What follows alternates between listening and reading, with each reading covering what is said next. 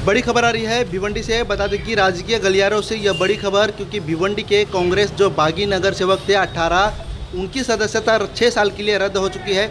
हम आपको बता दें कि कोकन भवन का यह बड़ा फैसला आया हुआ है।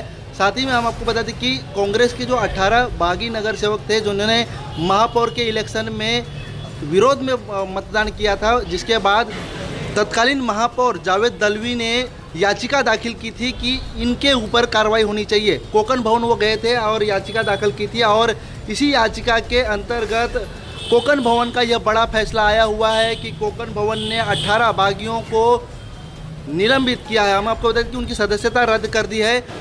फ़िलहाल की अगर स्थिति देखी जाए तो ये 18 बागी नगर सेवक जो थे, ये अभी राष्ट्रवादी पार्टी में हैं और हम इनके अगर नाम बताएँ तो नमरा अंसारी, वार्ड नंबर दो, मिसबा खान, वार्ड नंबर दो, इमरान वली मोहम्मद खान, ये उप महापौर थे, वार्ड नंबर दो।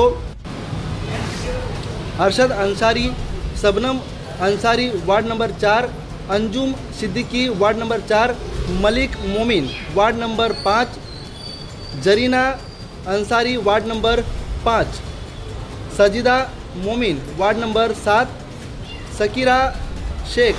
वार्ड नंबर आठ।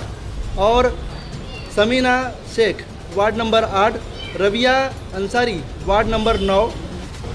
तफजुल हुसैन अंसारी, वार्ड नंबर नौ। और सफ़िका अशफाक अंसारी, वार्ड नंबर दस।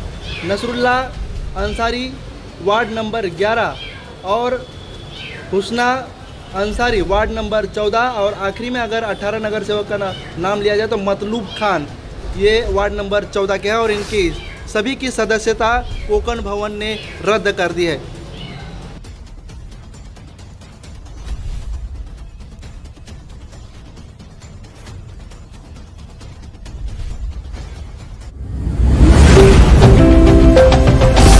स्पीड न्यूज़ रहे सबसे आगे।